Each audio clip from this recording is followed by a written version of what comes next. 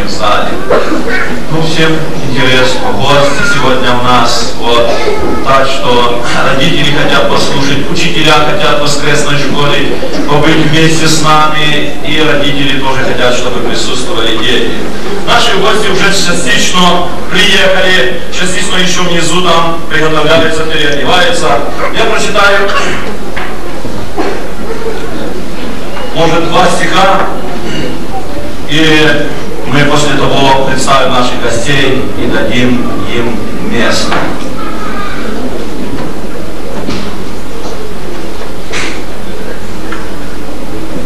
Я читаю место Священное Писание, которое записано в книге пророка Захарии, где написано так, это будет восьмая глава, и 20, с 20 стиха. Так говорит Господь Саваоф. Еще будут приходить народы и жители многих городов. И пойдут жители одного города к жителям другого и скажут, пойдем молиться лицу Господа и взыщем Господа Саваофа, и каждый скажет, пойду и я. Слава Богу нашему, что мы сегодня имеем гостей в нашем собрании, вы знаете, что Бог когда-то произнес через пророка Захария такие чудные слова, которые, может, относятся к Израилю и к определенному времени. Но сегодня Бог даровал нам тоже прекрасное время, в котором мы можем общаться, можем переезжать из города в город. Вы знаете, что мы пережили такой период, когда был запрет. Говорили, проповедники не должны переезжать из церкви в церковь, не должны гости проповедовать. Я думаю, многие старшие братья наши помнят этот период. Трудный период, в котором запрещали нам всячески посещать друг друга. Но сегодня мы имеем полное благополучие, полную возможность для этого, дорогие друзья. Но что еще желательно, имели? Чтобы Дух Святой сегодня действовал в нашем собрании, когда мы приходим сюда, и благодать нашего Господа Иисуса Христа утешала сегодня наши сердца. Муж Божий провождет прочее сказал, что пойдут жители одного города, жителям другого города и скажут, пойдем молиться лицу Господню и взыщут Господа Савопа, и каждый скажет, пойду я. Пусть Господь благословит всех вас, сегодня находясь в этом доме молитвы, чтобы поистине мы могли ощутить радость общения с нашим Господом Иисусом Христом. Я прошу, чтобы Он еще исполнил псалом, а после пения уже псалма наши гости займут здесь место. Пожалуйста, пусть Господь благословит.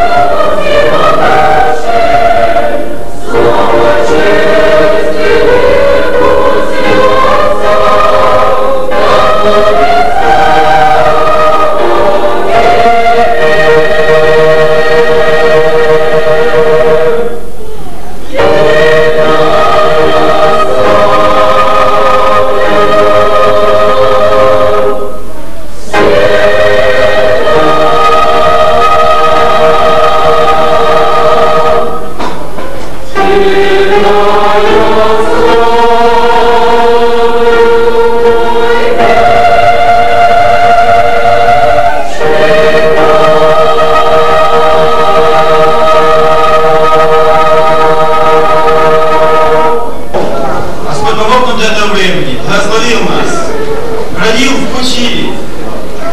Я вас, можно сказать, почти всех не знаю. Но я знаю, что мои братья и сестры, потому что Христос среднил нас своей кровью святой. С голков потекла струя, струя прощения, струя стеля, и, и, и Вы сегодня знаем еще много миллионов братьев и сестер, но верим и знаем, что придет тот день, тот час, когда мы встретим наших братьев, любимых и дорогих, когда мы встретим наших сестер, внуки Иисуса Христа, и споем, споем новую песню, хвалу нашему Господу. И скажем, окончились наши трудности, наши переживания, окончились наши скорби и болезни, а много Иисуса Христа. Прославим Господа. Но мы сегодня на земле, дорогие друзья, братья и сестры. И сегодня часто много христиан, верующих, изучают разные трудности, переживания. Но не нуждаться нашему Господи, Господи, не остави меня. Будь всегда со мной везде.